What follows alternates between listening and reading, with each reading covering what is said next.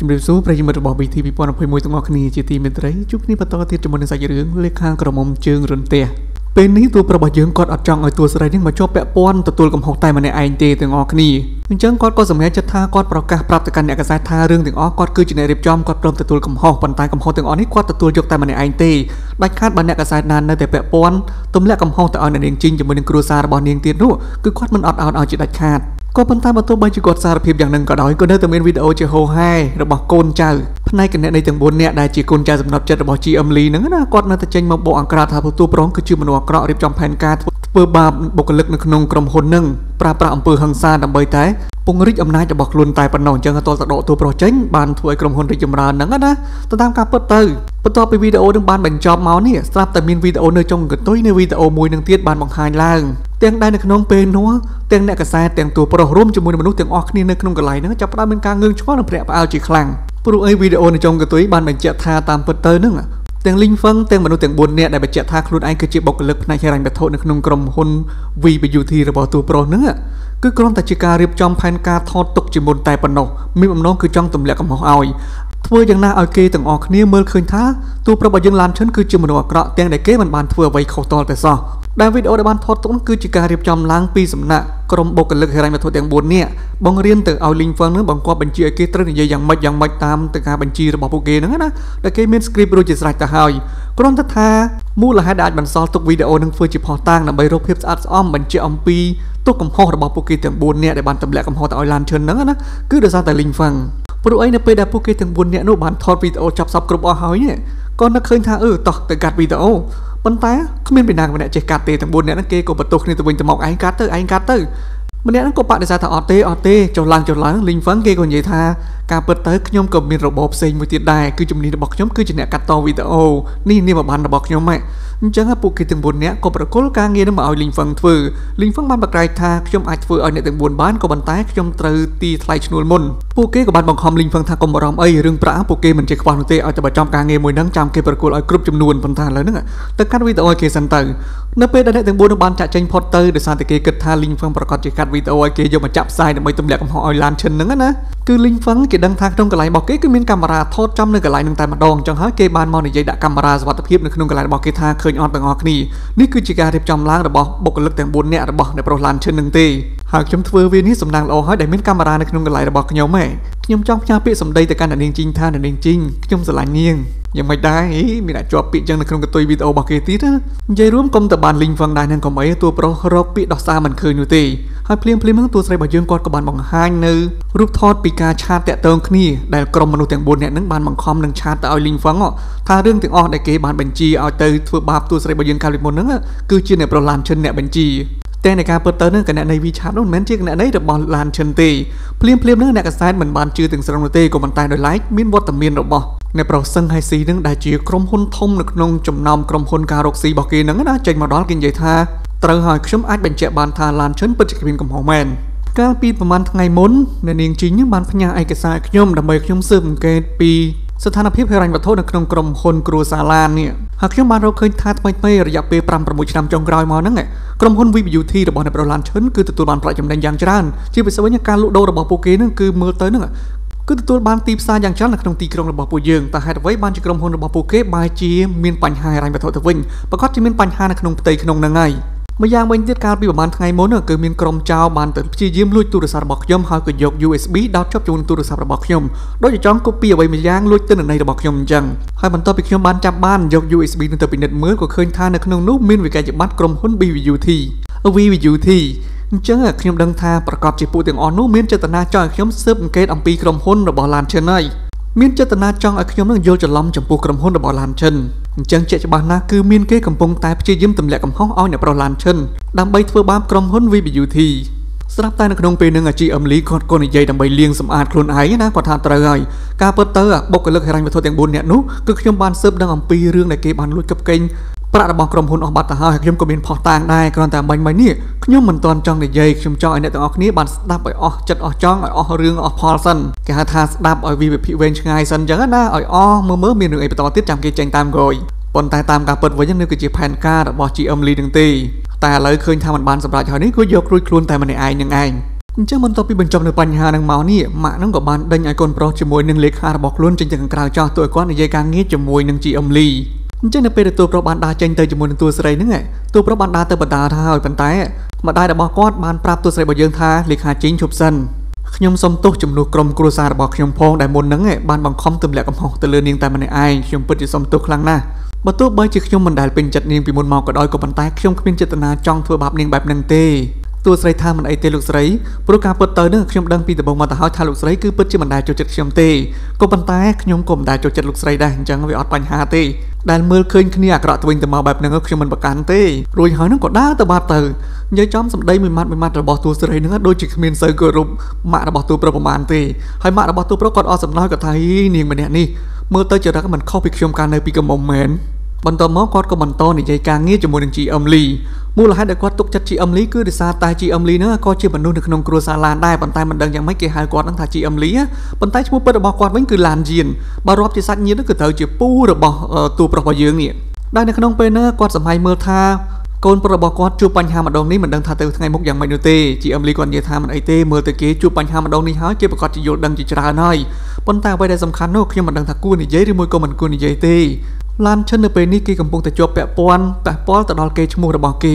អញ្ចឹងប្រសិនបើឲ្យគេទៅកាន់ការប្រជិចជាមួយនឹងក្រុមហ៊ុនរបស់អ្នកប្រសឹងទៀតនោះប្រកាសជាអាចនឹងប៉ះពាល់ទៅដល់ប្រជិចនឹងអញ្ចឹងខ្ញុំគិតថានៅពេលហ្នឹងម៉ាក់របស់ទូប្រុសក៏និយាយថាអត់អីទេខ្ញុំយល់អំពីបញ្ហាហ្នឹងអញ្ចឹងពាក់ព័ន្ធជាមួយនឹងប្រជិចក្រុមហ៊ុនរបស់យើងជាមួយនឹងក្រុមហ៊ុន Lee Hai ដែលជារបស់អ្នកប្រសឹង Hai Si នោះគឺប្រកល់ទៅឲ្យ GM Lee លោកគឺជាអ្នកគ្រប់គ្រងទៅចោះចំណែកឯតួប្រុសនេះវិញគាត់កំពុងតែរត់ដេញតាមហៅតួស្រីដើម្បីនិយាយគ្នាសុំទោសតួស្រីនេះ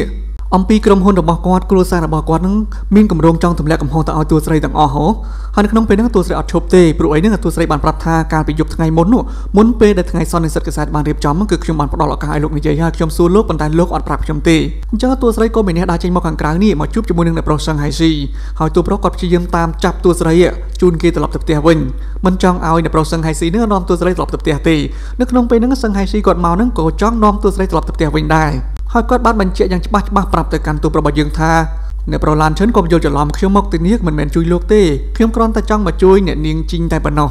អញ្ចឹងពីរអ្នកហ្នឹងកំពុងតែដណ្ដើមគ្នាជូនទួស្រីត្រឡប់ទៅផ្ទះវិញសង្គ្រាមស្នេហាបានកំពុងតែចាប់ផ្ដើមឡើងស្រាប់តែមានវត្តមានរបស់បរិម្នាក់ទៀតមកនោះគឺលីងហ្វឹងគេបានជិះម៉ូតូចូលមកដល់មកដល់ព្រាមនឹងឯងគេក៏សួរទៅកាន់ទួស្រីរបស់យើងថាយ៉ាងម៉េចដែរនាងជីងមកឡើងម៉ូតូមកខ្ញុំជូននាងទៅកាន់សន្និសិទកសែត និយាយចេញមកឡើងភ្លាវមកគេនៅគ្នាសោយគ្រប់គ្នាព្រោះអីសន្និសិទកសែតបានបញ្ចប់ទៅហើយហើយនៅក្នុងពេលហ្នឹងលីងហ្វឹងគេក៏សួរថាមិនបានជាអ្នកគ្នាសោយជាមួយនឹងខ្ញុំអញ្ចឹងកែងសន្និសិទកសែតគេទៅធ្វើពេលល្ងាចហ្នឹងអីទូប្រាប់យើងថាសន្និសិទកសែតបានបញ្ចប់ទៅហើយ ហើយលីងហ្វឹងក៏សួរថាចុះនៅនាងជីងមើលឃើញខ្ញុំនៅក្នុងកាមេរ៉ានឹងអត់ល្អទេមានខ្ញុំនៅក្បែរនាងខ្ញុំប្រកាសជាការពីនាងអញ្ចឹងឃើញទេអត់ខ្ញុំមានអារម្មណ៍ថាតែតល់ខ្លាំងទេបន្ទាប់មកលីងហ្វឹងក៏នៅតែនិយាយថាតោះនៅនាងជីងឡើងលើម៉ូតូមកកុំខ្វល់ជាមួយនឹងពួកគេអីខ្ញុំជូននាងត្រឡប់ទៅផ្ទះវិញពួកគេនឹងសោយចំអកខ្ញុំដូចជាខ្ញុំក៏ផ្លាយណាស់អញ្ចឹងមកឡើងម៉ូតូប៉ុន្តែនៅពេលហ្នឹង ពីរនាក់ទៀតគឺគេចេញមុខអញ្ចឹង3នាក់ហ្នឹងគេក៏និយាយព្រមព្រមគ្នាថាមកខ្ញុំជូនអ្នកនាងត្រឡប់ទៅផ្ទះវិញ3នាក់កំពុងតែតាមគ្នា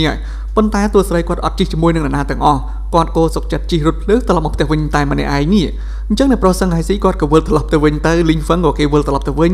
នៅតែតួប្រុសទេដែលព្យាយាមតាមត្រុកត្រុករត់តាមតួស្រីបន្តមកទៀតនេះតួស្រីថាបានហើយអ្នកប្រឡានអ្នកប្រុសតាមខ្ញុំមកយូរហើយមិនក៏មិនព្រមត្រឡប់ទៅផ្ទះវិញអញ្ចឹង ទូប្រុសគេថាខ្ញុំគោរពសន្យារបស់ខ្ញុំណាស់ខ្ញុំបាននិយាយហើយថាខ្ញុំនឹងជូននាងត្រឡប់មកផ្ទះវិញអញ្ចឹងបើទោះបីជាតាមមធ្យោបាយណាក៏ដោយខ្ញុំទៅតែជូននាងត្រឡប់មកផ្ទះវិញហើយតួស្រីក៏សួរទៀតថាអញ្ចឹងលោកមានអីនិយាយបន្តទៀតអត់បើអត់មានទេថាប់ត្រឡប់ទៅវិញទៅ ទូប្រុសហ្នឹងទាំងអស់គ្នាគាត់ទៅប៉ែខ្លាំងហ่ะគាត់អត់ហ៊ាននិយាយអ្វីជាសាច់ការជាមួយនឹងតួស្រីទេគាត់ខ្លាចគាត់អឹមអៀនបែរជាទៅចេញប៉ារ៉ូលផ្សេងយ៉ាងណាវិញឆ្កយគាត់ថានៅនាងជីងថ្ងៃនេះនាងធ្វើបានល្អណាស់ប្រហែលជារៀនសូត្រពីខ្ញុំបានច្រើនហើយខ្ញុំមកពិតជាស័ក្តិសមធ្វើជាគ្រូរបស់នាងណាត្រូវទេហើយមើលមកខ្ញុំមើលមានពន្លឺនៅក្នុងខ្លួនអត់ទេហើយនាងស្រឡាញ់ខ្ញុំអត់មើលទៅកំឡុងស្រឡាញ់ខ្ញុំអសោះណាតួស្រីគាត់ហួសចិត្តគាត់ក៏ដាស់ចេញទៅនេះបែរជាទៅចាប់ដៃគេហ្នឹងតួស្រីគាត់ខឹងពេកឲ្យតែចាប់ដៃអញ្ចឹងគឺដឹងតែបោកឲ្យភីង ផ្ងាក្រោយនឹងបាសជើងជាងាងាមើលមេចុះហើយតួប្រុសគាត់ថាមេជុកនេះស្អាតដល់ហើយអត់មានគិតរឿងឈឺខ្លួនទេណាហើយតួស្រីគាត់ឃើញចឹងគាត់ថាឡានឈិនណាខ្ញុំស្អប់លោកត្រង់ចំណុចហ្នឹងលោកអត់ចេះនិយាយជាសាច់ការតលតែសោះអញ្ចឹងក៏ដើរចូលមកក្នុងផ្ទះបាត់ទៅឲ្យឡានឈិនដេកមើលផ្កាយមើលមេតែម្នាក់ឯងនឹងចោះតែមិនមែនទេទាំងអស់គ្នាតួស្រីគាត់ដឹងថាឡានឈិនចង់និយាយអំពីអ្វីគ្រាន់តែគេមិនហ៊ាននិយាយហើយតួស្រីវិញគាត់ក៏គិតវេះអត់ចង់ស្ដាប់អំពីរឿងទាំងអស់នឹងដែរ ព្រោះអីនឹកឃើញប្អូនស្រីនេះព្រោះអីឡានឈិនគឺជាមនុស្សដែលប្អូនស្រីស្រឡាញ់អញ្ចឹងបើនាងទទួលយកក្តីស្រឡាញ់ពីឡានឈិនដែរហ្នឹងគឺមានន័យថាត្រូវប្រឈមមុខជាមួយនឹងប្អូនស្រីអាចនឹងឆ្លោះទាស់ទែងគ្នាហើយហើយម្យ៉ាងវិញទៀតនឹងកាលពីប្រហែលថ្ងៃមុនហ្នឹងគឺបានស្បត់ចំពោះមុខប្អូនស្រីទៅហើយថាអត់ស្រឡាញ់ឡានឈិនទេបើស្រឡាញ់សូមឲ្យស្លាប់ដោយសាកសពបែកជាបំណែកបំណែកឬមួយក៏ត្រូវផ្ទះបាញ់អញ្ចឹងអញ្ចឹងមិនដឹងគិតយ៉ាងណាយ៉ាងណីទេ ទាំងដែលខ្លួនឯងនៅពេលដែលត្រឡប់មកផ្ទះវិញនេះក៏ចេះតែរសេះរសោះគិតទៅដល់រឿងហ្នឹងគេងមិនលក់ទេគិតទៅដល់ឡានឈិនផងគិតទៅដល់រឿងអីផ្សេងផ្សេងផងព្រោះអីហ្នឹងក៏ធ្លាប់ឆ្លងកាត់រឿងរ៉ាវមកជាមួយនឹងគ្នាក៏ច្រើនដែរណាមួយទៀតកាលដែលពេលធ្វើសន្និសីទកសែតឃើញឡានឈិនហ្នឹងគឺសុកចិត្តលះបង់ខ្លួនឯងដែរគឺព្រមទទួលសារភាពថាកំហុសទាំងអស់ហ្នឹងគឺគេជាអ្នកទទួលខុសត្រូវ តែកុំឲ្យអ្នកកសែតមានការយល់ច្រឡំទៅពាក់ព័ន្ធជាមួយនឹងខ្សែជីវិតរបស់នាងជីងរួមជាមួយនឹងគ្រួសាររបស់នាងបន្តទៀតជាពិសេសទៅវិញក៏នឹកទៅដល់ទស្សនវិជ្ជាដែលពួកគេទាំងពីរនាក់បានថែបគ្នាដោយអចេតនានៅក្នុងពិធីជប់លៀងដើម្បីជួបជាមួយនឹងក្រុមហ៊ុនលីងហៃនៅកន្លែងក្រុមហ៊ុនរបស់សឹងហៃស៊ីហ្នឹងណាញ៉ាចំគឺអាឡោះឡាយច្រើនរឿងណាស់ក៏លេខមកមើលក្រុម4នាក់នឹងវិញឥឡូវនេះបន្ទាប់ពីសមាជិករបស់គេចង់ទម្លាក់កំហុសទៅឲ្យឡានឈិននឹងបាយការ គេក៏រត់មកប្រជុំជាមួយនឹងបពុរបស់គេមានដូចជា GM Lee ជាមួយនឹងឈៀនឈៀននៅតាមឆ្លាញ់តួប្រុសរបស់យើងមិនបានតលតែសោះហ្នឹងនេះអញ្ចឹងបន្ទាប់មកនៅពេលនេះ GM Lee នឹងក៏បានប្រាប់ឲ្យពួកគេទាំង4នាក់ព្យាយាមរកកន្លែងលាក់ខ្លួនបន្តអាសន្នសិនទៅកុំបញ្ចេញបង្កបញ្ហាបន្តទៀតព្រោះអំឡុងពេលនេះគឺជាពេលដ៏សំខាន់ដែលគាត់នឹងកំពុងតែគ្រប់គ្រងប្រជិតអញ្ចឹងគាត់ចង់ក្តោបក្តាប់ព័ត៌មាននឹងឲ្យបានជាសម្ងាត់ដើម្បីបំផ្លាញក្រុមហ៊ុន VBUT នឹងឲ្យបាន100%ទាំងដែលភាគហ៊ុននៅក្នុងក្រុមហ៊ុននឹងក៏មានមួយចំណែកធំជារបស់គាត់ដែរ ដែលនៅក្នុងពេលហ្នឹងប៉ារបស់គាត់ដែលត្រូវជាលោកតារបស់ឡានឈានីគាត់ក៏បានខលមកស្ដីបន្ទោសទៅកាន់ GM Lee ហ្នឹងណាដែលឈ្មោះពិតរបស់គាត់ហ្នឹងគឺគេហៅថាឡានយៀនអញ្ចឹងលោកតារបស់ទូប្រងក៏បាននិយាយថាឡានយឿនណាមិនបានជាឯងបណ្ដោយឲ្យមានរឿងធំកើតឡើងចំពោះក្រុមហ៊ុនរបស់យើងអញ្ចឹងភាគហ៊ុនរបស់ឯងនៅក្នុងក្រុមហ៊ុននោះគឺយើងបានផ្ដល់ឲ្យឯងច្រើនគួរសមដែរមិនបានជាឯងមិនមើលក្រុមហ៊ុនឲ្យបានល្អមើលឡានឈិនឲ្យបានល្អទៅ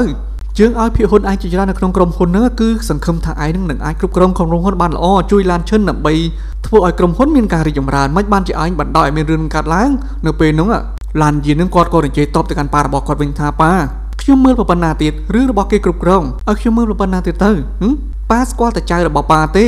ប៉ាមាននឹកឃើញទេនៅពេលដែលម៉ាក់របស់ខ្ញុំនេះមានជំងឺមុននឹងស្លាប់សល់តែដង្ហើមចុងក្រោយចង់ជួបប៉ាតើប៉ាមានមកជួបម៉ាក់ជាមួយយើងខ្ញុំដែរឬក៏អត់ទេ ម្យ៉ាងវិញទៀតដោយសារតែប៉ានៅទៅកាន់ឡានឈិនតើអីបន្ទាប់ពីប៉ារបស់គេជួបជាមួយនឹងគ្រោះថ្នាក់ចរាចរណ៍ស្លាប់បាត់នោះបានជាប៉ានឹងប្រគល់ក្រុមហ៊ុនទៅឲ្យគេគ្រប់គ្រង គាត់ក៏ស្រែកឲ្យប៉ារបស់គាត់មួយទំហឹងមួយទំហឹងណាក៏ប៉ុន្តែដោយសារតែការស្រែករបស់គាត់នេះគាត់ដឹងខ្លួនឯងយ៉ាងច្បាស់ថាគាត់ត្រូវការពឹងពាក់ក្រុមហ៊ុននឹងបន្តទៅទៀតទុកភាគហ៊ុននៅក្នុងក្រុមហ៊ុននឹងដើម្បីធ្វើបាបក្រុមហ៊ុននឹងឲ្យរលាយទាំងអស់ដូច្នេះហើយគាត់ក៏មិនហ៊ានស្រែកអីខ្លាំងខ្លាជាមួយនឹងប៉ាដែរបន្ទាប់មកនឹងក៏រងាប់អារម្មណ៍និយាយស្រួលជាមួយនឹងលោកតារបស់ឡានឈិនដែលត្រូវជាប៉ារបស់គាត់ដែរហ្នឹងរហូតដល់លោកប៉ាហ្នឹងក៏បានបង្ខំឲ្យគាត់នឹងស្បត់យកគេឈ្មោះរបស់ម៉ាក់គាត់មកស្បត់ ថាឯងត្រូវតែមើលឡានឈិនជួយឡានឈិនឲ្យគ្រប់គ្រងក្រុមហ៊ុនឲ្យបានល្អអញ្ចឹងគាត់ក៏ស្បត់ទៅតាមសម្ដីដែលលោកប៉ាបានបង្ខំនឹងទៅប៉ុន្តែបន្ទាប់ពីនិយាយទូរស័ព្ទជាមួយលោកប៉ាចុះហូររួចហើយនេះក៏បានបោកទូរស័ព្ទចោលហើយនិយាយថាទៅខ្ញុំស្បត់ ទោះបីជាធ្វើយ៉ាងណាក៏ដោយខ្ញុំត្រូវតែបំផ្លាញក្រុមហ៊ុនរបស់លោកប៉ានឹងឲ្យរលាយយីរុំគាត់មានកំហឹងជាមួយនឹងប៉ាដោយសារតែប៉ានឹងមើលទៅដូចមានប្រពន្ធច្រើនណាហើយថ្ងៃដែលម៉ាក់របស់គាត់ឈឺធ្ងន់ចិត្តស្លាប់នឹងអត់ឃើញវត្តមានលោកប៉ាមកទេហើយបើមកចាប់ដៃគូជាមួយនឹងឈៀនឈៀននៅវិញឈៀនឈៀនក៏គេបានប្រាប់អំពីទឹកចិត្តរបស់គេទៅកាន់ឡានយានឬមួយក៏ជីអឹមលីបានដឹងណាថានាងជាមួយនឹងជីអឹមលីគឺខុសគ្នាបន្តិចគ្រាន់តែការងប់ងល់ស្តៀងគ្នាតែនាងគ្រាន់តែចង់បានឲ្យឡានឈិនមកខ្លាចទៅជារបស់នាងស្របច្បាប់ពេញសិទ្ធិ100%ឲ្យគេនឹងគោរពខ្លាចនាងធ្វើតាមបញ្ជារបស់នាងតែប៉ុណ្ណោះតែបើមិនអាចយកឡានឈិនបាននោះទេគឺត្រូវតែបំផ្លាញគេចោលហើយនេះគឺដោយសារតែនាងងប់ងល់ជាមួយនឹងស្នេហាមួយយ៉ាងមួយទៀតគឺមិនចង់ឲ្យឡានឈិនខ្លាចទៅជារបស់អ្នកដទៃទេព្រោះអីពួកគេទាំងពីរនាក់គឺធំឡើងមកជាមួយនឹងគ្នារាប់អានគ្នាតាំងពីក្មេងៗមកម្លេះ ឥឡូវមកមើលទូប្រុសទូស្រីរបស់យើងវិញនៅក្នុងពេលនេះគាត់កំពុងតែរៀបចំពិនិត្យឯកសាររបាយការណ៍ហិរញ្ញវត្ថុរបស់គាត់បន្តទៀតថាតើមានបញ្ហានៅត្រង់ចំណុចណាជាពិសេសវិញគឺទូស្រីគាត់ព្យាយាមខ្លាំងណាស់ហើយគាត់ឆ្ងល់ថាឡានឈិនមិនបានជាមិនព្រមត្រួតពិនិត្យកន្លែងហ្នឹងបន្តិចអញ្ចឹងឡានឈិនថាខ្ញុំខ្ជិលពិនិត្យណាស់ព្រោះអីខ្ញុំដឹងថា ដើមទុនភាគហ៊ុនភាគច្រើនហ្នឹងគឺដោយសារតែគ្រួសាររបស់ខ្ញុំ support បញ្ចូលប្រាក់មកក្នុងក្រុមហ៊ុនដើម្បីបន្តក្រុមហ៊ុនទៅមុខទៀតអញ្ចឹងចាំបាច់ឆែកដើម្បីពិនិត្យធ្វើអីតែតួស្រីគាត់សង្ស័យ GM Lee ហ្នឹងអញ្ចឹងគាត់ឆ្ងល់ថាមិនបានជាតួប្រុសមិនព្រមពិនិត្យផងបើទោះបីជាទុកចិត្តគាត់យ៉ាងណាក៏ដោយក៏ត្រូវតែពិនិត្យដែរ បើទោះបីជាដឹងថាគាត់នឹងគឺជាសាច់ឈាមគេថាតកូលតែមួយជាមួយគ្នាក៏ដោយក៏ត្រូវតែពិនិត្យតាមគោលការណ៍របស់ក្រុមហ៊ុនទៅយើងត្រូវតែធ្វើការងារទៅតាមបែបផែនរបស់ការងារមិនគួរយករឿងសាច់ញាតិមកលុកឡំទេក៏ប៉ុន្តែនៅក្នុងពេលហ្នឹងទូប្រុសអត់ខ្វល់ច្រើនទេគាត់សួរទៅកាន់ទូស្រីថាអ្នកនាងជីង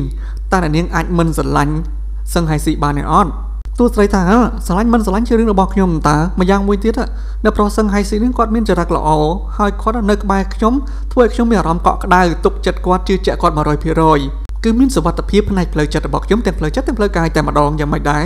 ដល់ទៅពេលលឺអញ្ចឹងតួប្រុសគាត់ក៏ប្រអាប់តួស្រីគាត់ថាអ្នកនាងជីងខ្ញុំមិននឹកស្មានទេថាអ្នកនាងមើលឃើញតែប្រាក់របស់គេអញ្ចឹងសោះអ្នកនាងស្រឡាញ់ប្រាក់របស់គេឬមួយក៏ស្រឡាញ់គេតួស្រីថា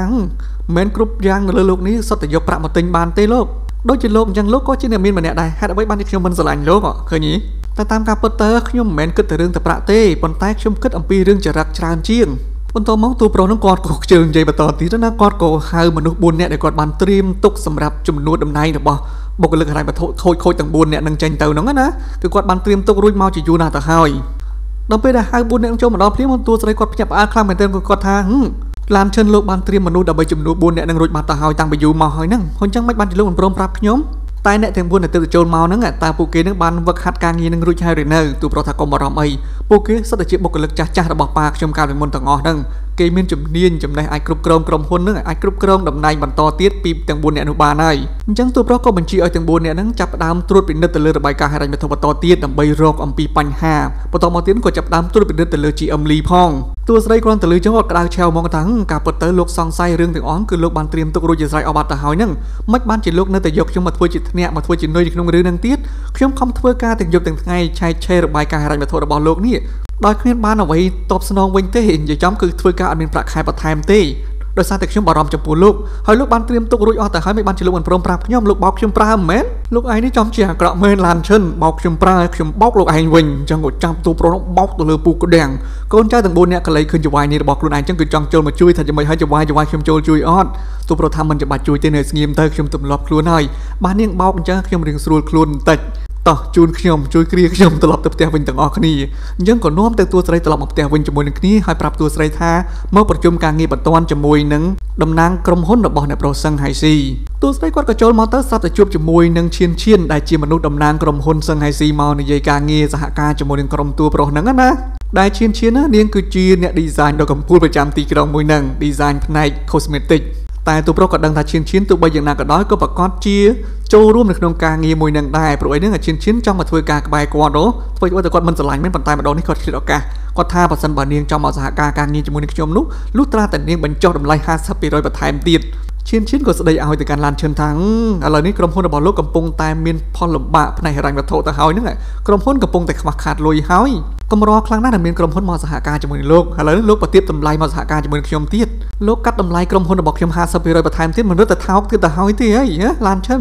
បានយល់ថាលោកជាមនុស្សថ្លាមធំបែបហ្នឹងខ្ញុំយល់ព្រមសហការជាមួយលោកទៅចោះទៅជាអញ្ចឹងទៅវិញ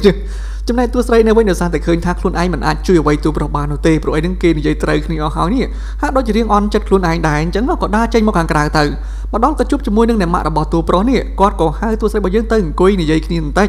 គ្រាន់តែទៅដល់ព្រាមនឹងម៉ាក់របស់តួប្រុសនឹងគាត់ក៏ឲ្យ VIP កាតមួយគឺកាតធនាគារដែលអាចដកប្រាក់បានគ្មានកាលកំណត់គ្មានចំនួនកំណត់នោះទេដកប្រមាណក៏បានដែរជាថ្នូរដើម្បីនិយាយឲ្យតួស្រីហ្នឹងបញ្ឈប់ទំនាក់ទំនងរវាងនាងជាមួយនឹងឡានឈិនគាត់បាននិយាយថាការពិតទៅ គាត់ដឹងថាតួស្រីគឺជាក្មេងស្រីល្អម្នាក់គាត់ពិតជាចង់ឲ្យនាងនៅជាមួយនឹងតួប្រុសខ្លាំងណាស់នៅជាមួយកូនប្រុសរបស់គាត់ឡានឈិននឹងខ្លាំងណាស់ក៏ប៉ុន្តែគ្រួសាររបស់ពួកយើងបានរៀបចំមង្គលការឲ្យគេជាមួយនឹងឈិនឈិនរួចបាត់ទៅហើយគ្រួសារទាំងពីរគឺចង់រួមជាគ្រួសារតែមួយនៅក្នុងពេលហ្នឹងឡានឈិនគេក៏បានដើរមករៀបតែនឹងចូលមកក្នុងបន្ទប់នឹងជួបទៅហើយឮសំឡេងនិយាយគ្នារវាងម៉ាក់ជាមួយនឹង លេខារបស់គាត់យើងគាត់ក៏លបស្ដាប់ពីខាងក្រៅសិនតួស្រីគាត់ក៏តបទៅកាន់ម្ដាយរបស់ឡានឈិនវិញថាបើពិតជាដូចអ្វីដែលលោកស្រីកំពុងតែនិយាយមែននោះខ្ញុំប្រកាសជាត្រូវតែធ្វើជាសង្សាររបស់ឡានឈិនឲ្យបានហើយខ្ញុំអត់បោះបង់គេចោលទេនិយាយចំគេឲ្យឈប់តាក់ទងគាត់កាន់តែចង់តាក់ទងភ្លាមនឹងស្រាប់តែលោកតារបស់ឡានឈិនត្រូវជាប៉ារបស់អ្នកម៉ាក់ឡានឈិនហ្នឹងណាគាត់ក៏ call វីដេអូមកនិយាយជាមួយកូនស្រីរបស់គាត់នេះដល់តែពេលឃើញតួស្រីរបស់យើងដែរនឹងឯងគាត់ក៏សួរថានាងនឹងមែនទេគឺជាលេខាជីញូ នាងដឹងទេវត្តមានរបស់នាងកំពុងតែនាំទុកទៅដល់ចៅប្រុសរបស់ខ្ញុំហើយតួស្រីគាត់ក៏តបទៅវិញដោយគ្មានខ្លាចសម្បីតែបន្តិចគាត់ថានាំទុកមែនទេអញ្ចឹងបើខ្ញុំនាំទុកនាំទុកយ៉ាងម៉េចទៅជួយប្រាប់ខ្ញុំបន្តិចបានទេលោកតាគាត់ក៏ដាក់រ៉ាហ្វាល់មកត្មងថាវត្តមានរបស់នាងធ្វើឲ្យឡានឈិនរបស់ខ្ញុំនេះមិនអាចធ្វើការងារបានសម្រេចណាមួយទៀតតំណែងតំណងទាំងឋានៈនៅក្នុងសង្គមទាំងទ្រព្យសម្បត្តិនាងមិនស័ក្តិសមជាមួយនឹងចៅប្រុសរបស់ខ្ញុំទេតួស្រីក៏តទៅវិញផងថាទៅហើយ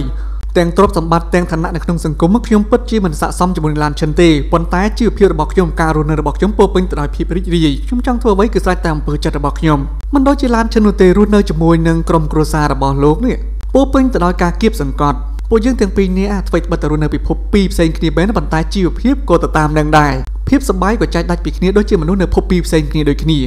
លោកតាថាត្រូវហើយ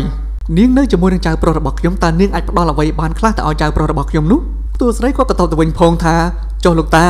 លោកតាដឹងថាចៅប្រុសរបស់លោកតាត្រូវការអីដែរឬក៏អត់ចង់ដឹងថាកូនរបស់លោកតានេះត្រូវការអ្វីដែរឬក៏អត់លោកតាមិនដែលខ្វល់ខ្វាយអំពីអារម្មណ៍របស់ពួកគាត់ទេលោកតាដឹងតែគៀបសង្កត់ពួកគាត់ឲ្យពួកគាត់ធ្វើទៅតាមតម្រូវការតាមបញ្ជារបស់លោកតាតែប៉ុណ្ណោះចៅប្រុសរបស់លោកតាឡានឈិនគឺគេចូលចិត្តជំនាញផ្នែក design ប៉ុន្តែលោកតា ដោយសារតែការគៀបសង្កត់របស់លោកតាដោយសារតែក្រុមគ្រួសារនេះគេត្រូវបង្ខំចិត្តទៅរៀនផ្នែក cosmetic វិញនៅក្នុងក្រុមហ៊ុនឡានឈិនបន្ទាប់ពីកាន់តំណែងជា CEO មកនេះគេតែងតែឯកោនៅតែម្នាក់ឯងគ្រប់គ្រប់គ្នាដែលនៅក្បែរខ្លួនរបស់គេឬក៏នៅជុំវិញខ្លួនរបស់គេដែលមានមេណាគេដែលជឿជាក់ទៅលើសមត្ថភាពរបស់ឡានឈិនទេមួយថ្ងៃមួយថ្ងៃគេទ្រាំបៀមទ្រាំរែកពុនរឿងរ៉ាវទាំងអស់នោះលោកតាគាត់ក៏ស្ដីឲ្យទូស្រីរបស់យើងថាបានហើយនាងជឿអត់ថានាងនិយាយបន្តទៀតខ្ញុំអាចបំផ្លាញអនាគតរបស់នាងបានទូស្រីថាបាន លោកគឺជាមនុស្សដែលមានសេចក្តីថ្លៃថ្នូរមានឋានៈខ្ពង់ខ្ពស់មានទ្រព្យសម្បត្តិច្រើនលោកប្រកាសជាអាចធ្វើបានតែអ្វីដែលលោកគ្មាននោះគឺគ្មានជំនឿចិត្តចំពោះចៅប្រុសរបស់ខ្លួនឯងចំពោះខ្ញុំវិញខ្ញុំមានជំនឿចិត្ត100%ចំពោះឡានឈិនថាគេគឺជាមនុស្សដែលខ្លាំងពូកែខ្ញុំជឿជាក់ថាគេប្រកាសជាអាចសម្រេចនៅគោលដៅរបស់គេបានសម្រេចជាមិនខានគេប្រើប្រាស់សមត្ថភាពរបស់គេដើម្បីដោះស្រាយបញ្ហាមិនចាំបាច់អន់លំទោនចំពោះនរណាម្នាក់នោះទេហើយក៏មិនចាំបាច់ធ្វើតាមវិធីផ្លូវកាត់របស់លោកតាដែលបានកំណត់ឲ្យត្រូវទៅរៀបការជាមួយនឹងឈៀនឈៀននោះដែរ ឮទូស្រីនិយាយអញ្ចឹងទាំងអស់គ្នាម៉ាក់របស់ទូប្រុសគាត់គាត់កប់យោបល់ហ្មងព្រោះគាត់នឹងគាត់ក៏មានគំនិតថាមិនយល់ទ្របជាមួយនឹងគំនិតលោកប៉ាដែរប៉ុន្តែអត់ហ៊ានប្រកែកជាមួយលោកប៉ាទេបានត្រឹមតែបង្ខំកូនប្រុសឲ្យធ្វើតាមសម្ដីរបស់លោកប៉ាខ្លួនអញ្ចឹងណាអញ្ចឹងហើយគាត់ក៏រលីងរលងទឹកភ្នែកនេះដល់ទៅពេលលោកតារបស់ទូប្រុសវិញប្រកែកមិនឈ្នះទូស្រីគាត់ថាគាត់នឹងបញ្ឈប់ទូស្រីបណ្ដឹងចេញពីក្នុងក្រុមហ៊ុនហ្នឹងហើយប៉ុន្តែភ្លាមភ្លាមនឹងទូប្រុសរបស់យើងគាត់ក៏ចូលមកដល់ហើយតវ៉ាជាមួយនឹងលោកតារបស់ខ្លួនថាអ្នកណាគេហ៊ានបញ្ឈប់លេខារបស់ខ្ញុំឥឡូវនេះខ្ញុំគឺជា CEO គ្រប់គ្រងក្រុមហ៊ុន បើគ្មានការយល់ព្រមពីខ្ញុំទេគ្មានអ្នកណាម្នាក់អាចមកបញ្ឈប់លេខារបស់ខ្ញុំបានជាដាច់ខាតមកនៅនាងជីងទៅញ៉ាំអីនៅខាងក្រៅខ្ញុំឃ្លានហើយតួស្រីរបស់យើងថាត្រូវឲ្យខ្ញុំក៏រៀងឃ្លានតិចតួចដែរតោះទៅញ៉ាំអីនៅខាងក្រៅអេពីអ្នកនិយាយដូចគ្មានខ្វល់ជាមួយលោកតាតិចសោះហ្មងណាអញ្ចឹងក៏ដឹកដៃគ្នារត់ចេញមកនេះហើយក៏ជួបជាមួយនឹងឈៀនឈៀនឈៀនឈៀនគេមានដៃឆ្វេងនៃស្ដាំរបស់គេមុខស្តៀងស្តៀងគ្នាសិតតែមាត់ខោចទាំងអស់សិតតែកំពូលហើយនេះ